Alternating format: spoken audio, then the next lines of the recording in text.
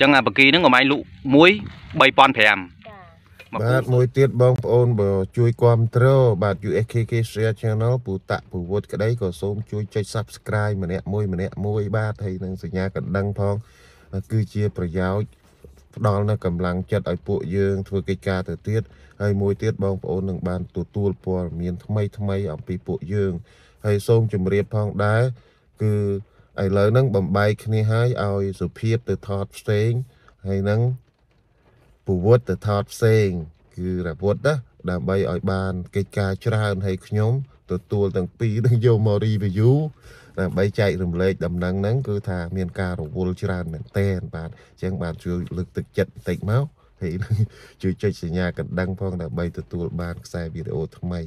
ថ្មីដែលយើងអាប់ឡូតចូលទៅក្នុង YouTube Channel បើមិនឃើញអ្នកទាំងពីរត្រឡប់មកមើល USKK share ទៅច្បាស់ជាឃើញហើយឈ្មោះហើយនឹងរូបថតជួនកាលដាក់ច្រឡំព្រោះអីសពរសជនច្រើនពេកហើយបាទសូមអធិស្ឋានចឹងអូខេក៏ស្ដាប់បន្តទៀតបាទ3000ហឹមហើយហើយមួយថ្ងៃចាក់បានប៉ុន្មានប៉ុន្មានហ៎គាត់នៅតាំងព្រឹកមកមានបាន5គូដែរតាំងព្រឹកមក5គូដែរចាតែបើអត់បាននៅអញ្ចឹងមកទៅមកបោចអញ្ចឹងគាត់បាននិយាយមកគូផងស្គាល់បានហឹមហើយទៅរកដល់ណាអំពាក់ហ្នឹងងាយ ឆ្ងាយបាយចានហូបចិត្តហូបបាយចានអីហ៎អូចិត្តហើយជិះតាមផ្លូវណាទីតាមផ្លូវតាមផ្លូវនេះតាមផ្លូវចិត្តអាហ្នឹងទៅដល់បងចាហ្មងអត់ទៅដល់អីអឺបែកចានហ្មងបាយចានចេញទៅដល់បែកចានហ្មងផ្លូវហ្នឹងចាផ្លូវផ្លូវមុខបាយចានហ្នឹងអញ្ចឹងចាត្រង់បាយចានទៅត្រង់បែកចានហ្មងចាបើទៅបោចហ្នឹងបោចយ៉ាងជើងបាយចានអីហ្នឹងបើបើវត្តនីវត្តអីហឹមហើយជីអីទៅកង់ជីកង់ចាមកឡើងឆ្ងាយអ៊ំអើយកង់ គាត់ហ្នឹងដៃហ៎ជើងចា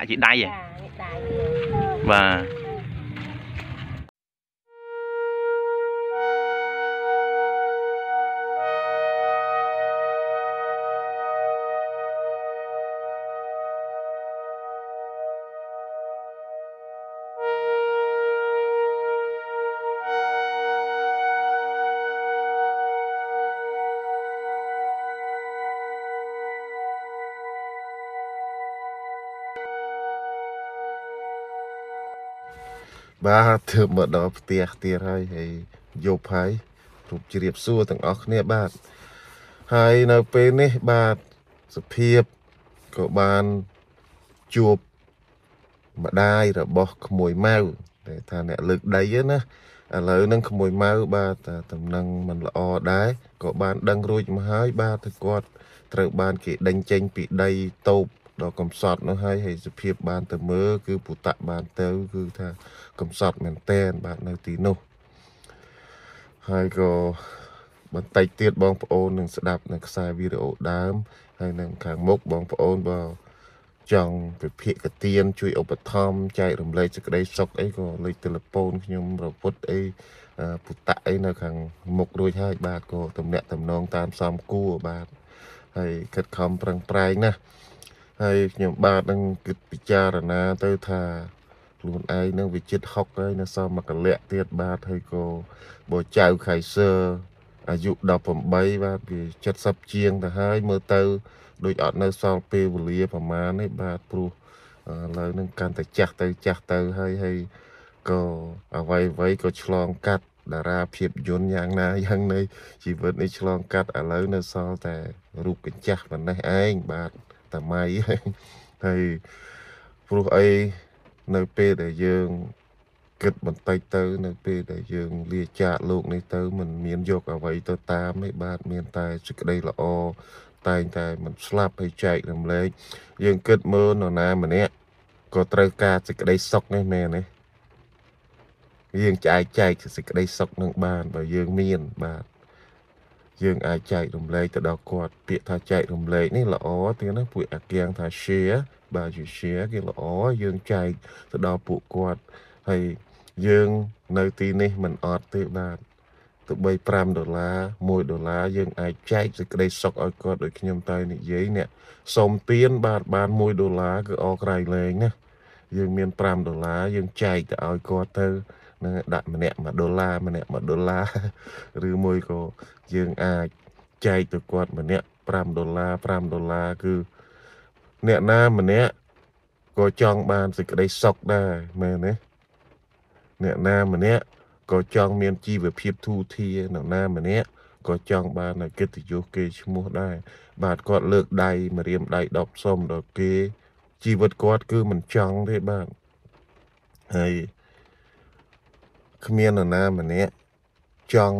បាននៅសេចក្តីទុកទេបាទព្រោះតែយើងឃើញនៅ ការគ្មានជំរឿសនៃពួកគាត់ទើបខ្ញុំខិតខំប្រឹងប្រែងអាយុចិត្តអស់ហើយចិត្តរលត់ដែរបាទក៏ចែករំលែកដំណឹងទាំងនេះ ហើយនឹងចែករំលែកក្នុងការធ្វើបន្តិចបន្តួចស្ដួយស្ដើងចិត្តវាមានប៉ុន្តែយើងវាអត់ថវិកាបងប្អូនទាំងអស់គ្នាក៏ដូចខ្ញុំខ្ញុំក៏ដូចបងប្អូនដែរបាទហើ យយើងចែកទៅតាមធនធាន អ្វីដែលយើងមានព្រោះអីយើងសុទ្ធតែជាអ្នកប្រាថ្នានៅសេចក្តីសុខធម្មតាយើងដាំពូជសុកទៅវាមិនដែលមកពីទុកវិញទេបាទហើយយើងតែងតែធ្វើនៅសេចក្តីអាក្រក់ខ្លះល្អខ្លះម្ល៉េះហើយផលបានមកលីឡំគ្នាហើយយើងគិតមើលនរណាម្នាក់ក៏ចង់មានដែរបាទក៏ចង់ធូធា បាទប៉ុន្តែយើងឃើញថាសកម្មភាពពួកគាត់ គឺដូចជាប្អូននឹងហើយដូចជាប្អូនផ្សេងផ្សេងប្អូនខុំប្អូនខឿនអញ្ចឹងឥឡូវខំហើយនឹងដូចជាម្ដាយរបស់ក្មួយម៉ៅអញ្ចឹងបាទដែលគាត់ខិតខំទៅកាត់ផ្ដៅហើយផ្ដៅលោកអើយលោកផ្ដៅគឺវាមុតណាហើយសិតតែបលាហើយទៅរំតកាប់បានយកមកសក់ហើយក្រងបង្គីបាទហើយ នេះគឺជាជីវិតពិតគឺខ្សែភាពយន្តយើងតែងតែឃើញក្នុងការសម្ដែងបាទប៉ុន្តែ នេះគឺជារឿងពិតហើយយើងអត់រវល់យើងមើលខ្សែភាពយន្តរឿងសម្ដែងអាចកំសត់អាចស្រក់ទឹកភ្នែកប៉ុន្តែរឿងនេះពិតណាស់បាទហើយដោយសារខ្ញុំ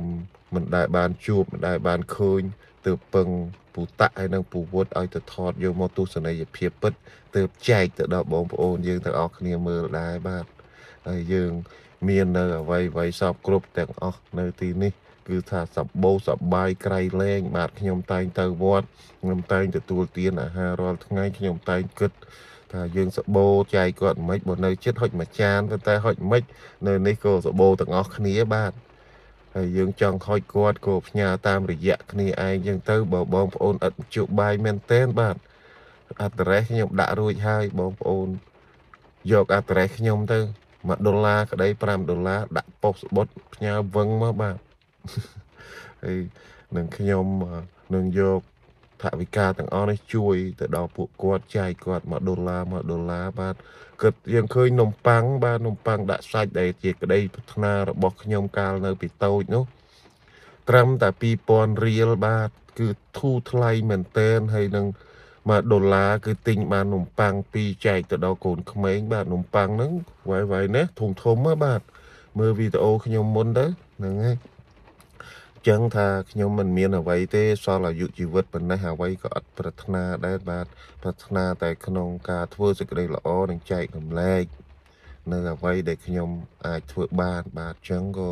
សូមបងប្អូនទស្សនានៅខ្សែវីដេអូដើមដែលបកស្រាយលំអិតឲ្យចុះទៅផ្ទាល់ដោយសុភាពពលគឺពុតៈបាទសូមអរគុណបាទបាទអនុញ្ញាតគោរពជំរាបសួរទៅដល់ពុកម៉ែបងប្អូនអ៊ំពូមីងយាយតាទាំងអស់បាទទាំងក្នុងទាំងក្រៅប្រទេសផងដែរបាទថ្ងៃនេះដែរគឺខ្ញុំបានបាទមករកផ្ទះបងម៉ៅ បាទប៉ុន្តែបងម៉ៅគឺគាត់បានរើពីកន្លែងខ្ទមកំសត់របស់គាត់ទៅហើយបាទគាត់ភាសាគាត់រស់នៅលើដីគេអញ្ចឹងហើយគឺគេដេញគាត់បានគាត់រើរើពីកន្លែងគាត់រស់នៅហ្នឹងគឺឥឡូវអត់មិនដឹងថាទៅណាទេប៉ុន្តែឥឡូវគឺខ្ញុំបានរកម្ដាយគាត់ឃើញហើយបាទម្ដាយគាត់នៅភូមិកន្លែងគុលកន្លែងគុលបាទនៅភូមិកន្លែងគុលនេះគឺខ្ញុំសួរគេទៅថា បងម៉ៅបងម៉ៅហើយបងស្រីក៏បានជូនខ្ញុំមកបាទមកដល់ផ្ទះម្ដាយរបស់គាត់អញ្ចឹងហើយគឺខ្ញុំសាកសួរសាកសួរខ្លះខ្លះពីសុខទុក្ខរបស់ម្ដាយរបស់គាត់ហើយនឹងអូនស្រីរបស់គាត់តើគាត់មានជីវភាពបែបណាឬមួយក៏យ៉ាងណាហើយក៏ខ្ញុំក៏មានថវិកាជូនគាត់ខ្លះខ្លះដែរបាទនៅក្នុងដៃគឺថវិកាលោកពូលុកតៃស៊ីវនិងអ្នកមីងរ៉ាត់សុផាន់បាទអញ្ចឹងហើយគឺមកសាកសួរពីជីវប្រវត្តិខ្លះខ្លះទៀតពី អ៊ំស្រីនិងបងស្រីបាទអញ្ចឹងអ៊ំជំរាបសួរអ៊ំបាទបងស្រីជំរាបសួរបាទហើយសុខសប្បាយទេបាយទៅមកបោយពាក់តំបន់ពាក់មិញហ៎ហើយពាក់យកធ្វើអីពាក់ទៅពីដូរកអូបគីដូរអង្គយកលក់ឲ្យបានបានទិញកអញ្ចឹងអាហ្នឹងស្មាន7000នេះអូនឡើងឥឡូវបាន7000នេះ7000បានហើយហើយមានបគីខ្ញុំមើលសុំមើលបានមានបានតាមានអូតាណាតាណាខ្ញុំស៊ូសិនចាំក្រោយចាំខ្ញុំមើលក្រោយ អញ្ចឹងអឺមកទោះអឺលោកអ៊ំអឺលោកអ៊ំអឺមានឈ្មោះអីដែរខ្ញុំតាមសុខុមដាំសុខុមចាអញ្ចឹងបងស្រីឈ្មោះអីដែរចុងឌីបងចុងឌីចាអញ្ចឹងបងស្រីមានអឺអាយុប៉ុន្មានហើយខ្ញុំ24 26ហើយចុះអឺលោកអ៊ំខាងនេះបញ្ជនប្រហែលហើយ68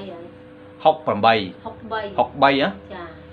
អញ្ចឹងហើយអឺលោកអ៊ំឲ្យគ្រូសាលោកអ៊ំតាណាហើយគាត់ចាស់ហើយគាត់ដើរធ្វើកាងខ្នល់អញ្ចឹងទៅ អញ្ចឹងគាត់ធ្វើលុបខ្នល់ដូចអឺអឺបងចាបងម៉ៅដែរណោះចាគាត់លុបខ្នល់លុបអីចឹងដែរអញ្ចឹងចាបាទអញ្ចឹងអឺលោកអ៊ំចាក់អាបកីហ្នឹងលក់បានមួយមកសម្រាប់7000ហើយចាក់មួយថ្ងៃបានប៉ុន្មានដែរហើយបានពីរគូអីថ្ងៃបានពីគូពីគូបាន10000ជាងណាចាអូជាងពីកគូមួយមួយបងអញមិននោះ ពាក់បោយមើលស្មាននឹងតតបានតបានបានអីបានបានអូបានចេញជាលុយបានទិញកតន់បានមិញថាខ្ញុំមកមើលមិញមិនតន់បានត្បាញហ្នឹងចាដល់អញ្ចឹងអញ្ចឹងអត់មានបានអីចេញជាលុយទេហើយហើយត្បាញអឺចង់ថាអំពាក់ហ្នឹងអឺអ៊ំយកមកពីណាដែរអូដើរកាក់ពេញព្រៃព្រៃជ្រៅឆ្ងាយអូឆ្ងាយជ្រៅណាទីកង់ទៅចឹងដាច់ចោលបងនៅដំដំបាទអញ្ចឹងឥឡូវខ្ញុំមកសួរលោកអ៊ំបន្តិចពីបញ្ហាបងម៉ៅចា ឥឡូវអឺខាងបងប្អូនយើង ខាងសពរស់ជន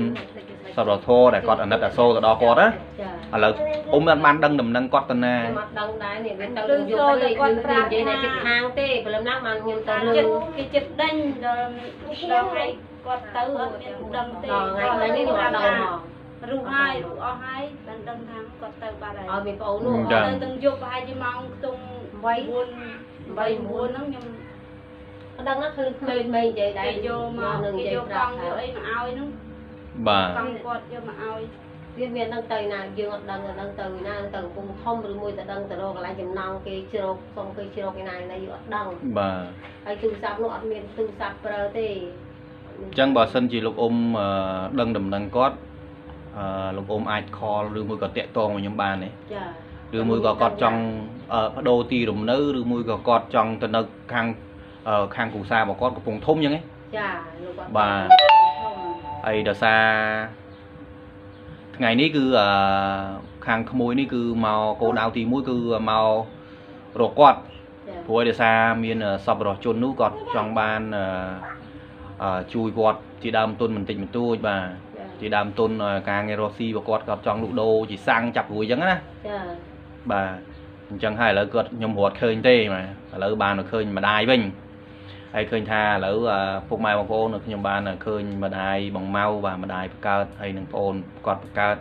ឃើញថាមានអាជីវភាពខ្វះខាតដែរបាទហើយក៏ខ្ញុំមានថាបការរបស់លោកពូលោកតៃស៊ីវដែលគាត់តែងតែអាណិតអាសូរទៅដល់អ្នកខ្សត់អ្នកខ្សោយតែងតែអាណិតទៅដល់អ្នកក្រអ្នកលំបាកអ្នកវិធានាបាទដូចជាគ្រូសាលោកអ៊ុំបាទហើយនឹងប្អូនស្រីអញ្ចឹងទៅហៅប្អូននេះដោយសារគាត់អាយុប្អូនខ្ញុំបាទអញ្ចឹងហើយក៏អត់មានអីច្រើនដែរគ្រាន់តែខ្ញុំចង់សួរពីជីវប្រវត្តិខ្លះខ្លះៗហើយពីការងាររបស់គាត់ខ្លះខ្លះៗចែកជូនលោកអ៊ំពូមីងបាទបងប្អូនទាំងអស់អញ្ចឹងអឺលោកអ៊ំអឺផ្ទះដែលលោកអ៊ំស្នាក់នៅរងថ្ងៃនេះគឺគឺជាផ្ទះ ផ្ទះរូមគ្នាឬមួយក៏យ៉ាងម៉េចថាថាតែរួមរួមចឹងតែឪពុកក៏ថាថាតាំងចិត្តចែកកូនចុះព្រោះអីព្រោះអីនេះបងបងគេអាចរកបានយើងមើលវិញរកបានបានរកបានតែនៅមួយគ្នាចឹងណាអូនអញ្ចឹងហ៎ចាឥឡូវឥឡូវមកមកស្នាក់នៅមួយគ្នាទាំងអស់ទាំងអស់មូលទាំងអស់ចាចុះមិនដល់ឡែកមកមកអត់នៅមួយគាត់អត់នៅគាត់ចេះនៅមួយយើងទេអញ្ចឹងហ៎ចាគាត់ចេះនៅទេគាត់សុកចិត្តដើរជិះជ្រោកតែតែថាមកកូនគាត់ច្រើនកូនច្រើនចឹងនៅអត់កើតចឹងបាទកើតចឹងគាត់ទាំងម៉ែទៀត 7នាក់ហើយដល់ពេលបាទមួយនៅណែផ្ទះទៀតបាទអត់នៅកើតអាណិតគាត់ហើយឃើញថាគាត់ចង់រកស៊ីរកអីដែរចាអញ្ចឹងឥឡូវវ៉ែមកសាច់រឿងខាងគ្រូសារបស់ប្អូនស្រីអញ្ចឹងប្អូនស្រីអាយុ26ឆ្នាំត្រូវហ៎ហើយកូនប្រហែលអ្នកហើយកូន3បងកូន3និងកូននៅមុខហ្នឹងហ៎ចា3កម៉ក់ម៉ក់ហ្នឹងហ៎ហ្នឹងហើយចុះគ្រូសារបស់បងអើប្អូនទៅខាងអ្នកធនណាវិញធ្វើ ការសំណងធ្វើការសំណង់ហើយចុះប្អូនមើលកូនអញ្ចឹងណាចាមើលកូនអត់មានចំណូលអីមកពីណាលក់ពេជ្រលក់មាសគេអញ្ចឹងមានចំណូលណាអញ្ចឹងហ៎ស៊ីមួយម៉ែនិយាយលេងណានិយាយលេងឯងអធិស្ឋានឲ្យបានសើចខ្លះអទំរកការងារបានធ្វើបាន3ថ្ងៃថ្ងៃហ្នឹងទំទៅដេកហ្នឹងទៀតអញ្ចឹងហ៎កូនដើរកូនរត់បានទៀត រត់បានទេតែនោះគេបោកទៅនោះគេបោកទៅនោះគេបោកបោកអញ្ចឹងហ៎ហត់គេធ្វើការចំណងឲ្យបត់ការហើយគេបោកគេបោករហូតហ៎ការងារគេបោកនឹងពី3កន្លែងហើយចង់លុយទីតមួយនេះអត់ឃើញចំណាំហ្នឹងខ្ញុំធ្វើការចំណងគេបោកអត់ឲ្យលុយដែរហើយហើយហើយបំញធ្វើការសំណងដែរ ចាខ្ញុំទៅបោកពាក់ទៅធ្វើបោកពាក់បែបតែមិនធ្វើអត់បានលុយឲ្យលុយពេលវិញថ្ងៃមើលហ្នឹងវាថាជន់លេងនិយាយរួចរែងចេញរួចទៅធ្វើសុកចិត្តទៅធ្វើហើយនឹងគេបើកលុយបើយើងកលុយទៀតយើងទៀតអាយុ63ឯនោះទៅធ្វើរែកទូលឲ្យវាចុះលោកអ៊ំមានចង់ប្រកបកិច្ចការងារលក់ដូរអីជាក្រៅពីសំណងហើយចាក់អាឥឡូវថាមុខរបរយើងចាក់បកាត្រូវហ៎យើងមិនចោលក៏បានដែរចាប៉ុន្តែលោកអ៊ំចង់បានមុខរបរអីមួយទៀតដែលលក់ដូរជាបន្លែសាច់ត្រីអី តកូននំនេកអីលក់អីកើតទេមកភូមិមានលក់អត់ដែរទេលក់អត់ដាច់ទេណោះចាបាក់លក់អត់ពីបោកហ្នឹងគឺបោអ្នកលក់ណាអូមកចាំមកភូមិមកមកភូមិនេះលេងមហាលេងយាយខ្ញុំលក់ខ្ញុំអ្នកលឺជំនាញលក់សូមបងខ្ញុំនេះទៅអញ្ចឹងហ៎បាញ់ឆៅនំបញ្ចុកស្អីដាក់ខ្ញុំរបបរបបខ្ញុំធ្វើគ្រឿងគ្រឿងខ្ញុំលក់បញ្ចុកប៉ុន្តែខ្ញុំលក់លើលេងលក់អត់កើត លក់កើតពីមុនគាត់ធ្វើតែគាត់ធាក់កងគាត់ណោះកង់ខ្ញុំចាចាស់ធាក់ដើរលក់បាញ់ឆៅហើយលក់បាញ់ឆៅលក់អីខ្ញុំលក់បញ្ចុកប៉ុន្តែលើលក់អត់កើតទេដល់ហើយណាមួយលក់អត់កើតខ្ញុំទីកង់អត់បានឆ្ងាយហើយកាន់តែចាស់ហើយណាជីកង់បានឆ្ងាយឆ្ងាយអញ្ចឹងណាវិលអញ្ចឹងទៅខ្លាចដួលអញ្ចឹងណាខ្លាចអត់ហ៊ានទៅចាឥឡូវធ្វើសំណងទៀតអត់ទេចំណងអត់មានគេឲ្យធ្វើអាអមឯងធ្វើសំណងធ្វើបើឲ្យលក់អត់លក់ទេ ចំណងធ្វើតែចាញ់ញើសច្រើនអញ្ចឹងញើសវិញចាចាញ់ញើសអត់មានអត់មានអ្នកនេះណាយើងដើរខ្យល់ស្រួលអញ្ចឹងណាបើយើងដល់ពេលយើងលក់ដូរអញ្ចឹងគេថាយើងអត់អញ្ចឹងអត់មានភ្នែកណយយើងខ្លាចដែរម្ល៉េះហើយបាទនេះគ្រាន់តែជាមតិក្មួយទេណាចាអ៊ំបើសិនជាអ៊ំអឺគេថាចាប់អារម្មណ៍ក៏យកចុះបើថាអត់ចាប់អារម្មណ៍អានឹងមិនដឹងថាយ៉ាងម៉េចទេអានេះគ្រាន់តែខ្ញុំអឺ ដើរជួយអ្នកអត់អ្នកខ្សត់អ្នកខ្សោយបាទខ្ញុំតែងតែ ប្រាប់គាត់ពីមុខរបរលក់ដូរតែងតែចង់ឲ្យគាត់មានជីវភាពទូធាចាតែងតែចង់ឲ្យគាត់អឺបានរស់ស្រួលអត់ចង់ឲ្យពិបាកចាទៅពិបាកទីហោថាទៅធ្វើសំណង់ទៅដើរសុំគេទៅដើរទៅធ្វើអីផ្សេងផ្សេងការងារធ្ងន់ណាចាហើយបើសិនជាយើងមានគំនិតការងារលក់ដូររកស៊ីយើងមិនប្រកាសថាយើងលក់អត់ដាច់ទេណាអ៊ំចាសំខាន់យើងអត់តន់ប្រឡូកនៅក្នុងវិស័យរកស៊ីអាការងាររកស៊ីតែអ៊ំរកឆ្អែតប៉ុន្តែអ៊ំរកអត់ត្រូវអត់ត្រូវកន្លែងចាអត់បាទវាអត់យើងអត់ត្រូវណាចាហើយអឺណាមួយយើងអឺការងាររកស៊ីយើងមិនប្រកាសថាយើងលក់ដាច់ដូចគេទេចាតែគ្រាន់តែយើងត្រូវតែមានពាក្យមួយគឺក្នុងចិត្តយើងត្រូវតែតស៊ូទៅមុខព្រោះឲ្យការងារលក់ដូរលក់រកស៊ីនេះគឺមិនមែនថាអ្នកជោគជ័យ100អ្នកជោគជ័យទាំង100អ្នកទេណាអ៊ំចាសំខាន់យើងត្រូវតែ តស៊ូមិនថាថ្ងៃនេះចំណេញមិនថាថ្ងៃនេះមិនចំណេញខាតអីត្រូវតែតស៊ូទៅរហូតរហូតដល់គេរហូតដល់តែគេស្គាល់យើងចាប៉ុន្តែអ្វីដែលយើងតស៊ូអត់បានអាហ្នឹងមានន័យថាបរាជ័យណាអ៊ំចាអានេះច្រើនពេកបានលក់លេងសើដាច់បាទលេងបានមកអត់បានទៅហូបចៅបាទយើងចៅមួយមកហូបចៅបាទពីរមកហូបហើយយើងចោះចៅសិតអត់សិតអ្នកអត់លុយម្ល៉េះហើយបាទចិត្តអត់ដាច់អញ្ចឹងឥឡូវប្រវាយអារម្មណ៍មកខាងប្អូនស្រីវិញ តើប្អូនស្រីចង់ប្រកបកិច្ចការងារអីអត់ចង់ដែរតែគឺបាក់ដីទួលមានអត់មានកន្លែងអត់មានកន្លែងដាក់លក់អត់មានកន្លែងលក់ណាអត់មានកន្លែងហ្នឹងចុះបើទៅសុំមុខមុខឲ្យគេឲ្យលក់អត់ទេណាគេអត់ឲ្យយើងទេបើថាជួលមានខែមួយខែប្រហែល200អីមានអូអាដីនៅម្លុកខេតអិតនៅជាយក្រុងនេះថ្លៃមែនគេឲ្យយើងដៃអត់ខ្ញុំជួលតូបគេដែរតា70រៀលតាដីគាត់ដីទេដល់ស្មៅហ្នឹងណា ដីទេដល់ស្មៅយើងទៅធ្វើខ្ទមលក់ទៅគេយកមួយខែ100000ហ្នឹងដីខដីស្មៅអូឲ្យតែមុខខ្នល់100000មានអីខ្លាចឲ្យគេមកអ្នកលក់អាវហ្នឹងអ្នកលក់អាវហ្នឹងមួយខែ100000អូបើថាមួយខែ100 200ថ្លៃហ្នឹងម្លុកនេះថ្លៃជាងពេញទៀតហ៎តែឥឡូវនេះគេមិនឲ្យយើងលក់ទៀតខ្លាចគេយកដីយើងព្រោះយើងអត់លុយអត់យើងអត់ដីអញ្ចឹងចង់រកស៊ីដែរប៉ុន្តែ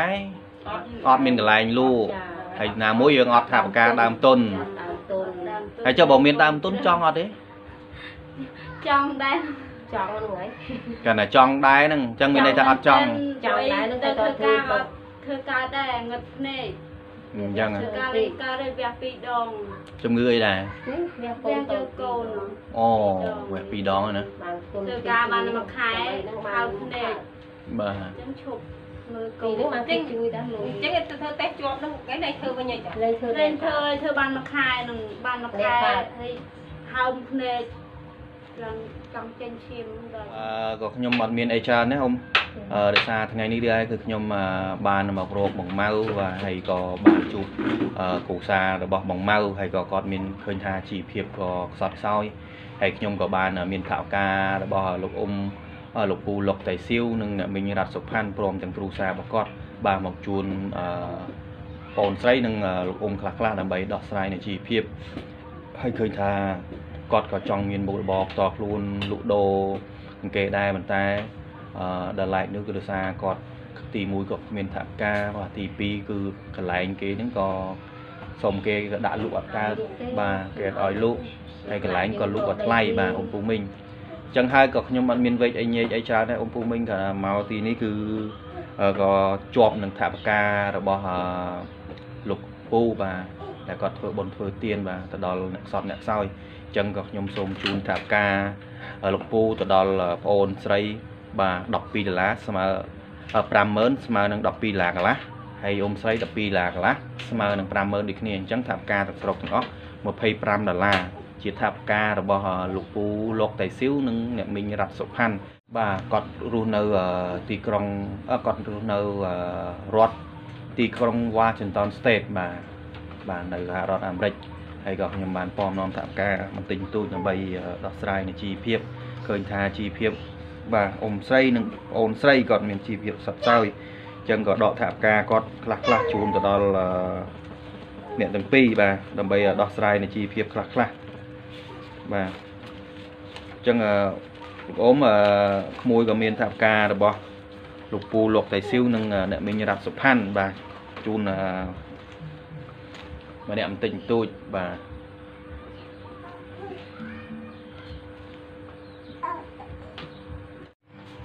បាទអញ្ចឹងអឺខ្ញុំក៏មានថវិការបស់អឺលោកពូលោកតៃស៊ីវនិងអ្នកមីងរ៉ាប់សុផាន់ព្រមទាំងគ្រូសារបស់គាត់ណាលោកអ៊ំហើយអឺគាត់បានអឺញ៉ាឲ្យខ្ញុំធ្វើបុណ្យធ្វើទានជាមួយអ្នកសពអ្នកខ្សោយបាទហើយឃើញថាគ្រូសាលោកអ៊ំក៏អ្នកសពអ្នកខ្សោយដែរអញ្ចឹងអឺជូនលោកអ៊ំអឺ 50000បាទហើយជូនអឺបងស្រី50000អញ្ចឹងអឺគ្រូសាលោកអ៊ំទទួលបាន25ដុល្លារពីអឺលោកអ៊ំអឺលោកពូលោកតៃស៊ីវនិងអ្នកមីងរ៉ាត់សុផាន់ហើយមានពាក្យពេចន៍អីជូនពរទៅដល់ខ្ញុំគាត់សូមជូនពរ អស់លោកដែលមានសេចក្តីជ្រះថ្លាបានលុយបានបច្ច័យនេះមកចូលមកដល់ខ្ញុំអ្នកអត់អ្នកក្រនេះសូមទេវតាឆ្នាំចាស់ខ្លះឆ្នាំថ្មីថែរក្សាអ្នកអស់លោកបានដីសុខដីម្រើនបរិវិជាឆ្ងាយទៅត្រូវមកវិមុខម្លងទៅត្រូវមកខ្នងនេះ តែត្រូវមកចិត្តឲ្យមកចិត្តតែមានថាតផលហើយបានដីសុខដីម្រើនណាមួយណាណាបងណាបងស្រីបងប្រុសតកឬណាណាទេចិត្តថាហើយបាទបានដីសុខចុះឲ្យបងស្រីមានពាក្យអីជូនពរដល់អ៊ំលោកតៃស៊ីវហ៎ជូនពរគាត់អាយុវែងឲ្យមានសុខភាពល្អកុំឲ្យតែមានទីស្កាត់ឲ្យមកវាឈានអីដើរអីដើរមកវាជាឆ្ងាយឲ្យមុខបររស៊ីគាត់កាន់តែធូរជាផ្សេងសុខភាពល្អសុខភាពល្អអស់ បាទខ្ញុំទៅសាកបាទហើយខ្ញុំបាទពិតាក៏សូមជូនពរបាទបួងសួងបាទដល់វត្ថុស័ក្តិសិទ្ធិទេវតាឆ្នាំចាស់ផ្លាស់ចូលឆ្នាំថ្មីចូលបីបាច់ថែរក្សាចូលបីបាច់ថែរក្សាទៅដល់ក្រុមគ្រួសារលោកពូផងនិងអ្នកមីងផងទាំងគ្រួសារគាត់ទាំងអស់បាទ ហើយគាត់រកស៊ីទទួលទានមានបានតិចតិចជុំដោយទាំងអស់ពងជ័យទៅទីចិត្តទីឆ្ងាយឲ្យជួបតែមនុស្សល្អល្អជួបតែសុខភាពជួបតែសេចក្តីសុខសេចក្តីសុបាយបាទជួបតែលៀបជួបតែជ័យជួបតែសេរីសុខស្រីសុភមង្គលគ្រប់ក្រុមគ្រួសារបាទខ្ញុំបាទពិតានេះបើសិនជាមានពាក្យពេចន៍កាយការណាដែលស្វំស្គមជាមួយនឹងបងស្រីនិងបងស្រីសូមបងពូមីងខន្តីអ្នកជាស្រីដល់រូបខ្ញុំផងបាទការនិយាយស្ដីនេះគឺនិយាយចេញពីចិត្តនិយាយចេញពីបេះដូងគឺមិនបានរៀបរាប់មិនបានទៅសេ ព្រៀងទុកទេបាទពុកម៉ែបងប្អូនបាទហើយខ្ញុំបាទពិតាក៏សូមអរគុណនិងសូមគោរពលាផងដែរបាទចឹងនិយាយសិនណាអ៊ំណាចាចាទៅបានសុខបាទ